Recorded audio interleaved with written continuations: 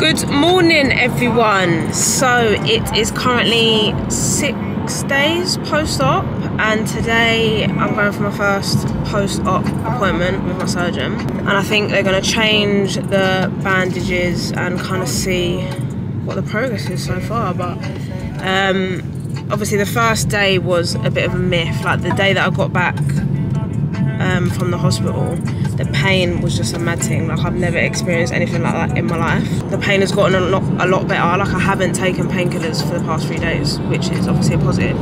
Still slightly a bit swollen, but um, we're getting a lot more movement in the knee, which is good. Um, just with my sis, she is driving me to my appointment, and yeah, we'll see what he has to say. Hopefully, good news. Take the leg out of the brace. That's pretty good. You're coping with the brace alright, Yeah, it does amazing. I can't lie, but it's just heavy, isn't it? but it's doing its job. Yes. Rest back there. If we're looking at the leg, that leg goes this straight. Mm-hmm. We want to work on getting this leg out straight, letting it drop down. Remember before it was a bit bent. Mm-hmm. The bending now. Bending. How much bending have you managed to get? You can keep going. We want to get up to that 90 degrees. Right, and then if I'm just gently squeezing here, we're just moving the tibia backwards and forwards. So you can sense that feels stable now. Mhm. Remember before it used to move quite a lot? Mhm. So that's good. And then the sideways movement, you can sense it come to a stop now. Remember before the operation we moved that and it just seemed to keep going. So that's good. Sleeping in the brace. Um, first night I did, and then after that night I've been sleeping a bit as straight as possible. Do you have a question? for Yeah. So obviously because I'm sleeping and I'm sleeping in one position, it's killing my lower back. Yeah. Is there anything that I can put Yes. on my back to like help it? Well, you can lie on your side. You can put then break, uh, put the pillow between the legs. Right. That's all right. What on this side or that side? Both sides. Okay. Right. Well, when I saw the report of what you done, I was like, oh, you had a great time. Mm. You had a great time. There you go. Right, that looks very Yeah. clean. I know it looks um, There sort of blood stained now, but we'll. To be fair, I thought it was going to be a lot longer than that. So we're only a week, Joe. So Yeah, only I'm not going to disturb those steri strips because they're all quite intact, aren't they? I don't know whether this one just snaps. It's a bit soggy. No, it's quite dry actually. Maybe we can just do that one. Yeah, just replace that one. Right. So when that dressing's off now, does your leg go down straighter? Right, you can let it go down. It does almost. What exercise are you doing to get the leg to go straight? So I'm doing the heel prop, um, and football just gave me a stim machine, like the muscle Oh, good. for my quads and that. So if you're resting back there, the goal then is to be able to get both knees back out equally straight. Right. So that knee has to then drop down eventually, so it's matching that one to get your normal curve that way, the mm-hmm. hyper extension, we mm, call it. And that just takes some stretching out, and one way just.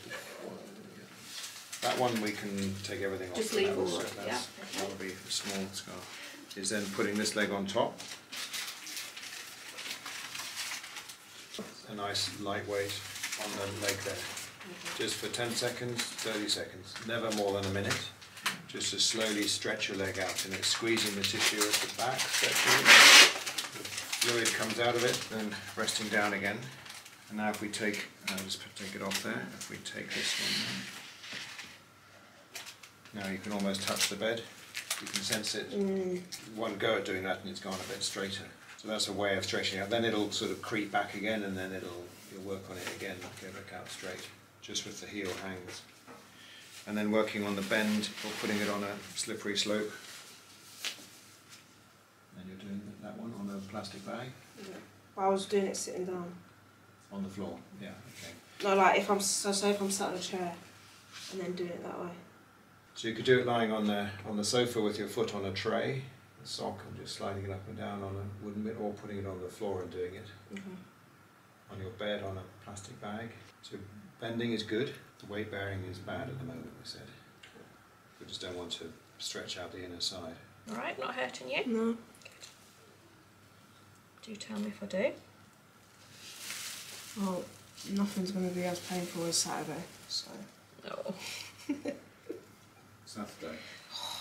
Yeah, that was. I haven't felt pain like that. Oh, the, The day after, yeah. Mm. Then that night's sleep, oh my god. Mm.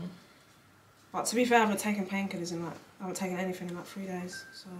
fine, but we need to get the knee moving. Right. So taking the edge off the pain with regular paracetamol, hmm no risk in doing that. It just allows you to push on a bit more. Right. So yes, it's good to not take painkillers, but then you end up with a stiff knee because you're not pushing through. It's not so much fun. Okay. So we want to get this leg out straight, and you felt when we when you did the heel hang then that it was unpleasant to put Mhm. it straight. It's good. Feel nice. um, working on that, taking some analgesics, then you can push through it a bit more. Get up in the morning, take a couple of paracetamol so you're ready for your exercises. Okay. But we want to get this movement going. Stiffness is our enemy with this. Okay. Quite dry now. Nice. So that's a bit Mm. indented. The scar is going um, obviously here to here. That's good and clean. And then your small scar on the inner side for the medial. And what was this one for? We'll tunnel up the tibia to make a channel for the ACL, Right. up through the femur, and then the wire comes out Oh, at the top okay. there. Got you. And there's a big long knitting needle, and then you pull the graft up through Nice. that long wire drilled up the leg. That sounds lovely. Glad you're asleep. And this literally has got an eye on the end of the needle, so you can pull your lead sutures through and pull the graft up. That doesn't feel nice. So we want to take that discomfort away. That's Mm. why taking painkillers and we put the dressings on in flexion Thank you. Got it in the right position for me. is covered for the next three or four days, Mm. and then everything can just soak off. And at ten days, the wound should have sealed itself. Okay.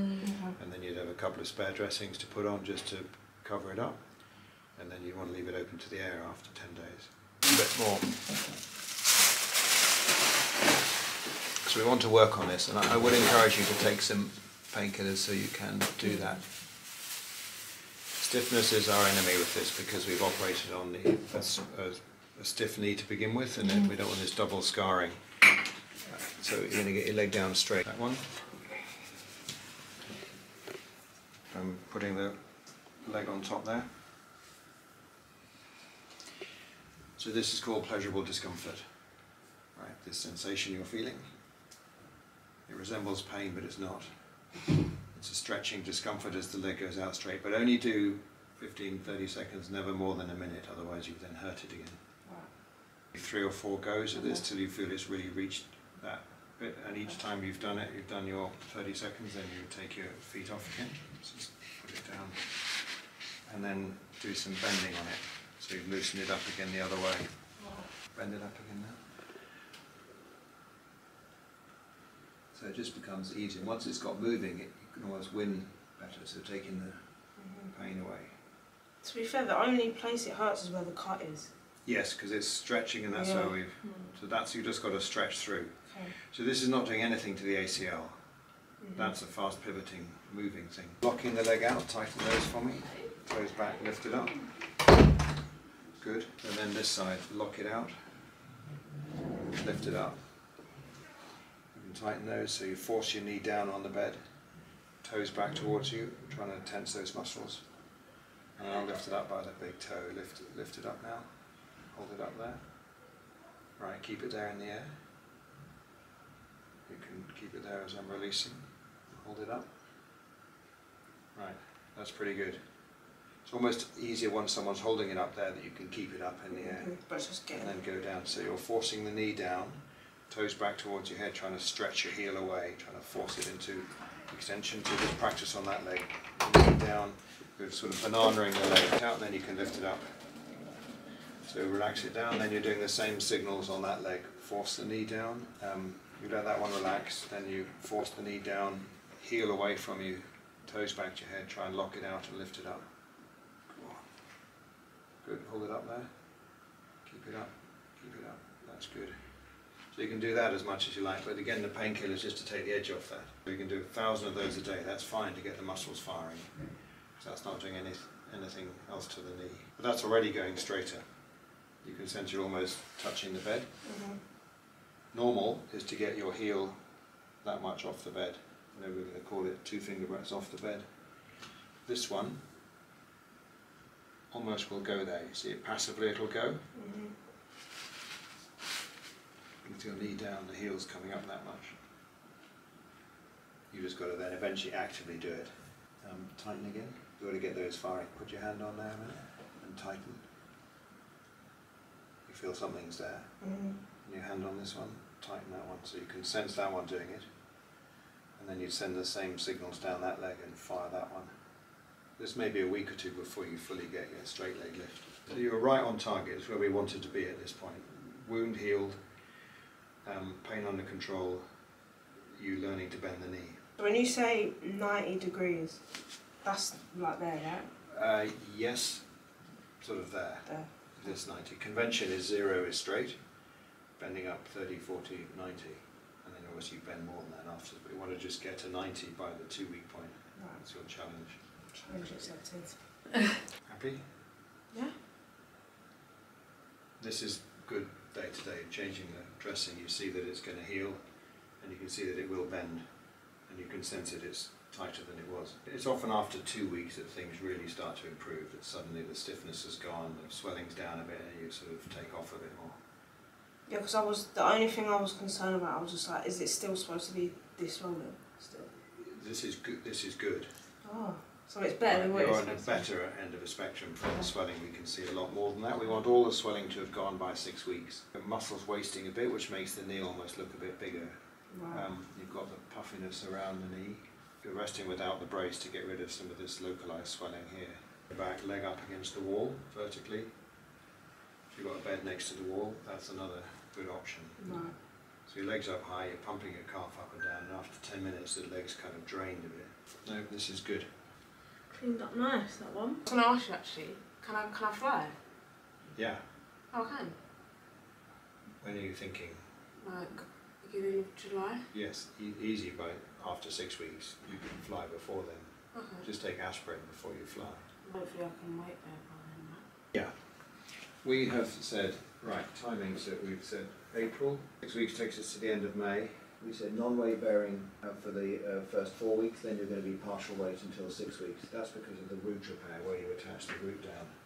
Patellar mobilization is good and hopefully the physio will be doing that both up and down and sideways to keep that from scarring up. Uh, massaging the tissue, mobilizing it so it doesn't get stuck down. But that's gone nicely straight now. When you get those muscles firing, I want to see that work.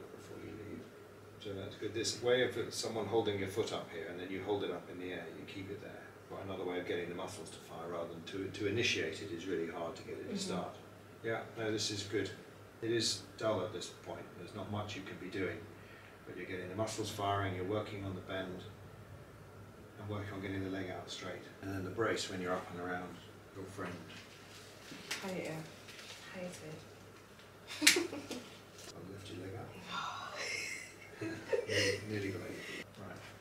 Yeah, go ahead and put the top ones on. Good. Then using your hands to do it. So you put your heel on the slippery bag, put your hands on here underneath the hinges there, and now you're lifting it. You're dragging the knee upwards and the heel has to follow. And you're pulling it with your own hamstrings, and then down again.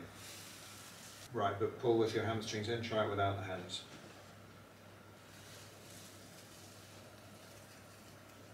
So it's not as easy, or you can get more, if you're lifting it up, then your foot has to follow, and that gives you more discomfort. It's already getting there a bit more. Mm-hmm. You'll be fine, you're taking the painkillers, you want to get this moving. Stiff knee is hard to get out of, so we've got to win the scar tissue, we don't want to win the battle and heal too soon.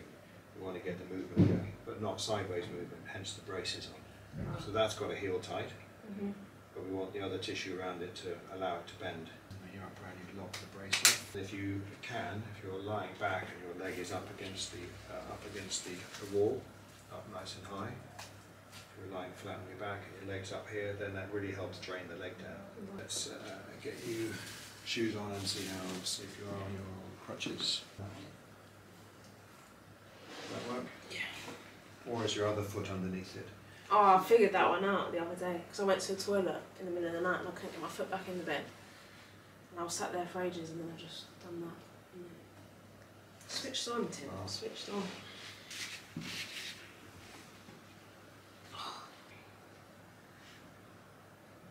Wonderful. Thank you very much. That's pretty good. Racing around. Well, I'm quite happy with that. I'm quite happy with that. Not gonna lie to you. Um, so the first two weeks, he said obviously there's not really gonna be much going on. Um, it's just gonna be focusing on flexion and extension of the knee. Um, so yeah, I just got to do my exercise really. But now moving forward, I'm just gonna have to take a bit more paracetamol in order to get my knee to the next stage, if that makes sense, so I can push through the pain. But yeah, I think we're on course. We're we're where we want to be right now, and the scars look wonderful. I wasn't expecting them to look that neat, to be fair. So we've done alright. And yeah, my next pre-op is I think 15th of May. Obviously. I'll keep you updated in the meantime as to what happens in between then. But again, thanks for watching. Thanks everyone for your support, and I'll catch you in the next one.